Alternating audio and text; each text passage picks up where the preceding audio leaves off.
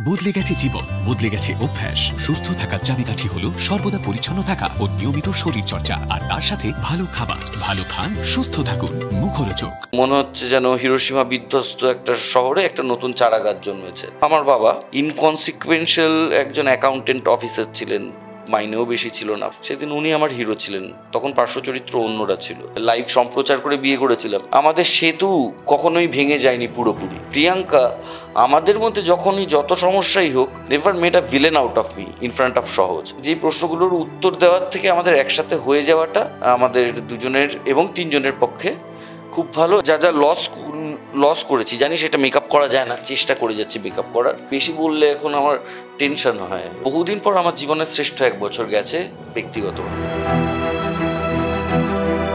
এই মুহূর্তে আমরা হরগৌরী পাইস হোটেলের সেটে রয়েছি আর আমার সাথে পর্দার প্রভাকর মানে রাহুলদা রয়েছে। এটা পুরো কমপ্লিট প্রভাকরের লোক তাই তো কেমন আছো রাহুলদা ওই চলছে মিলিয়ে মিশিয়ে ভালো খারাপ মিলিয়ে মিশিয়ে। এখন পাঁচ দিনের শোটা সাত দিন। দর্শকের ভালোবাসা যাই বলো না কেন মানে শোটাকে ভালোবেসেছে দর্শক। হরগৌরী পাইস হোটেলের টিমটাকে ভালোবেসেছে। তো এই সেক্ষেত্রে সাত দিন হওয়া মানে একটা এফার্ট যে শুটিংটা বেশি করা স্ক্রিপ্ট নানা রকম তো সব মিলিয়ে কেমনভাবে চলছে এই বিষয়ে? মানে এখন টেলিভিশনে যেটা ট্রেন্ড হচ্ছে অনেক সিরিয়ালই অকালে বন্ধ হচ্ছে কোনোটা এক বছর আয়ু ধরে রাখতে পারছে না। আমি নিজেও সেরকম সিরিয়াল করেছি। আমি নিজে ভুক্তভোগী। সেখানে যে একটা সিরিয়াল মানুষের ভালো লাগছে এবং সেই সিরিয়ালটা নিয়ে অপসংস্কৃতির কোনো অভিযোগ নেই, কোনো নেগেটিভিটির অভিযোগ নেই। একটা সুস্থ পারিবারিক সিরিয়াল যে মানুষকে ভালো লাগাচ্ছে এবং সেটা পাঁচ দিন থেকে সাত দিন হচ্ছে, সেটা অনেকটা ওই মনে হচ্ছে যেন হিরোসীমা বিধ্বস্ত একটা শহরে একটা নতুন চারা গাছ জন্মেছে। তো হ্যাঁ চারিদিকে যখন রক্তাক্ত পরিবেশ, সেখানে এই সিরিয়ালটা যে এগিয়ে চলেছে এটা ভালো লাগছে। যখন তোমার এন্ট্রিটা হয় আমি একটু শুরুর দিকের কথা বলি তুমি তো বেশ কিছুটা সময় পর হরগৌরী পাইস হোটেলে এসছো। তো তখন যেহেতু তুমি এতদিন লিড করে এসছো তোমাকে আমরা হিরো হিসেবে দেখেছি ধারাবাহিকে। সেক্ষেত্রে তখন তুমি যখন এন্ট্রি হয় তখন অনেকেই বলছে রাহুলদা কি এবার পার্শ্ব চরিত্র করছে? নাকি এই সেটে দুটো রাহুলদা রয়েছে? তো সেই নিয়েও একটা কনফ্লিক্ট তৈরি হয়েছিল। দেখো আমি কিন্তু দেশের মাটিও পার্শ্ব চরিত্র হিসেবেই করেছি। সেখান থেকে লোকে রাজা মাম্পিকে ভালোবেসেছে। তো আমার কাছে চরিত্রটা তুমি আমার হাতে দিয়ে দিচ্ছ। তারপর ওই সিনের হিরোটা আমি। যেই সিনটা আমার আছে, সেই সিনের হিরো আমি। আমি শুধু আমার সর্বস্ব দেব, তারপর দর্শক জাজ করবে যে আমি কোন চরিত্র। আসলে পার্শ্ব চরিত্র বলে কিছু হয় না। পার্শ্ব চরিত্র বলে কোনো শব্দই হয় না। তার কারণ হচ্ছে, ধরো, আমার বাবা ইনকনসিকুয়েন্সিয়াল একজন অ্যাকাউন্টেন্ট অফিসার ছিলেন। মাইনেও বেশি ছিল না, পাঁচ ফুট দুই ইঞ্চি হাইট বাসে ঝুলে ঝুলে আসতেন। কিন্তু দোলের দিন যেদিন, দোলের দিন, দোলের আগের দিন যখন আমার জন্য লুকিয়ে পিচকারিটা বার করতেন, সেদিন উনি আমার হিরো ছিলেন। তখন পার্শ্ব চরিত্র অন্যরা ছিল। তো ওরমভাবে পার্শ্ব চরিত্র হয় না, দৃশ্য তৈরি করে চরিত্র। সেখানে আমি প্রত্যেকটা সিরিয়াল, প্রত্যেকটা সিনেমা সেটা দশ মিনিটের জন্য করলেও মুখ্য চরিত্র হিসেবেই করি। আরেক রাহুলদা রয়েছে, তার সাথে অফ ক্যামেরা মানে অফ স্ক্রিন তো তোমাদের মেকআপ রুমটা বেশ জমজমাট থাকে। ওরকম বদমাইশ ছেলে আমি দেখিনি। সারাক্ষণ কিছু না কিছু ভেজে চলেছে এবং আমি বদমাইশ বলছি খুব পজিটিভ সেন্সে এমন কোনো দুষ্টুমিও করে না যা মানুষকে কষ্ট দিতে পারে। ওর দুষ্টুমিটা শুধুই আনন্দ দেওয়ার এবং খুব বড় হৃদয়ের ছেলে, সবাইকে আপন করে নিতে পারে।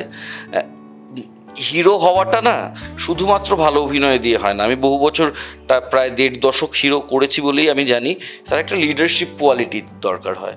সেই লিডারশিপ কোয়ালিটিটা ওর মধ্যে প্রচণ্ড আছে which is a great great quality Prabhakar যখন আসলো, একজন তো সাদা শাড়ি ছেড়ে লাল শাড়িতে সুন্দর করে সাজলো মানে মিতালির কথা বলছি। তারপর আবার প্রভাকরের আর এক বউ এলো, ভেবলি। তো দুই বউ অন ক্যামেরা মানে কীভাবে ব্যালেন্স হচ্ছে, প্রভাকর কীভাবে ব্যালেন্স করছে?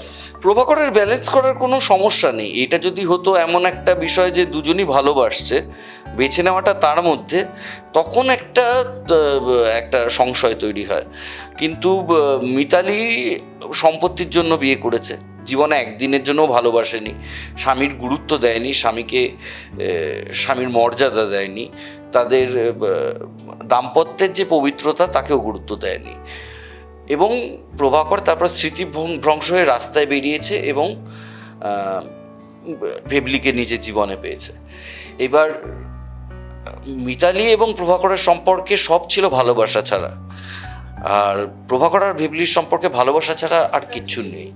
তো ভেবলি ইজ আ ক্লিয়ার চয়েস। আমার আসলে দুটো বিয়ে নয়, পরিস্থিতি দুটো বিয়ে করিয়েছে। আমার স্ত্রী কিন্তু ভেবলি মানে প্রভাকরের। আচ্ছা রাহুল, একটা অন্য প্রসঙ্গে আসি। তুমি কিছুদিন আগেই বলেছ যে তুমি আর প্রিয়াঙ্কা দি অফিসিয়ালি এবার একসাথে থাকতে চলেছো। তো সেই প্রসঙ্গে তুমি যদি একটু বলো যে অনেকটা বছর পর আবার তোমরা একসাথে, সহজ কতটা সম্পর্ককে সহজ করে তুললো? এটা পুরোটাই সহজের জন্যই হয়েছে। কারণ আমরা যখন আলাদা ছিলাম, তখনও তো আমরা সহজেরই বাবা মা ছিলাম। ফলে আমাদের সেতু কখনোই ভেঙে যায়নি পুরোপুরি। মানে এবং টু হার ক্রেডিট প্রিয়াঙ্কা আমাদের মধ্যে যখনই যত সমস্যাই হোক never made a villain out of me in front of সহজ। ও কখনো আমাকে খলনায়ক বানিয়ে নিজের পয়েন্টস বাড়ানোর চেষ্টা করেনি। উল্টোটাও সত্যি আমিও সেই চেষ্টাটা করিনি। যদিও আমার থেকে প্রিয়াঙ্কার সুযোগ অনেক বেশি ছিল। তো সেই জায়গা থেকে সহজেরই এখন বেশ কিছু জটিল প্রশ্ন ছিল, যেগুলোর উত্তর আমাদের দিতে হতো। যেই প্রশ্নগুলোর উত্তর দেওয়ার থেকে আমাদের একসাথে হয়ে যাওয়াটা আমাদের দুজনের এবং তিনজনের পক্ষে খুব ভালো এবং আমি টাচ উড লাস্ট এক বছর, বহুদিন পর আমার জীবনের শ্রেষ্ঠ এক বছর গেছে ব্যক্তিগতভাবে। আচ্ছা তুমি যেটা বললে যে সহজের অনেকগুলো প্রশ্ন ছিল মানে সেই প্রশ্নগুলো তোমরা সহজে আনসার দিতে পারছিলে না। এই যে বাবা মায়ের আলাদা থাকাটা মানে ওর বয়সটা মানে অনেকটাই কম, সেক্ষেত্রে ওকে কি এফেক্ট করতো যে, তুমি ওর সঙ্গে সময় কাটাতে ঠিকই, কিন্তু দুটো বাড়িতে আলাদা থাকাটা? এফেক্ট তো দেখো, এইটা, এই বয়সে আমি বুঝব না। এইটা এখন আমি বুঝব না। এটা ওকে বড় হতে দাও। এইটার কি কি ইমপ্লিকেশনস হয়েছে? আমাদের আলাদা থাকার আদৌ কিছু হয়েছে কি না সেটা পজিটিভ হয়েছে না নেগেটিভ হয়েছে? সেগুলো আমরা পরে বুঝব। অবশ্যই ভ্রান্তি আমাদের তরফ থেকে থেকেছে এবং তার জন্য একটা শিশু সাফার করেছে। সেটা একদিনের জন্য হলেও তার জন্য দায়ী আমরা, বিশেষত আমি। কিন্তু সেটার ইমপ্লিকেশন এখনই বলার মতন দূরদর্শী আমি নই। আচ্ছা এই যে তোমাদের একসাথে থাকাটা অনেক দিন পর আহ, সব আইনত মামলা সেটাকে থামিয়ে দিয়ে এক্ষেত্রে কার ইনিশিয়েটিভটা বেশি ছিল কে বেশি সা- আগে এগিয়ে এসেছিল सब बता दूं क्या अपने बेडरूम के बारे में अपने बेडरूम के बारे में सब बता दूं कुछ तो छोड़ो আহ, যেহেতু তোমার অকপট স্বীকারোক্তি যে দোষটা তুমি নিজেকে বল বলছো যে কোনো দিক ক্ষেত্রে দোষটাই দেখতে পাবো অন্যের দোষটা আমি দেখতে পাবো না এবং সত্যি আমার দোষটাই আছে। তো এখন সহজ কতটা বুঝতে পারছি যে কতটা সময় ওর সাথে তোমরা দুজনে একসাথে কাটাচ্ছ? আমরা প্রচুর প্রচুর সময় কাটাচ্ছি অতিরিক্ত সময় কাটাচ্ছি এবং একসাথে সিনেমা দেখা সাঁতার কাটা এবং আমি যা যা লস লস করেছি। জানি সেটা মেকআপ করা যায় না, চেষ্টা করে যাচ্ছি মেকআপ করার। এবং আর কি বেশি বললে এখন আমার টেনশন হয়। আসলে লাইভ লাইভ সম্প্রচার করে বিয়ে করেছিলাম। লাইভ সম্প্রচার হয়েছিল আমার বিয়ের।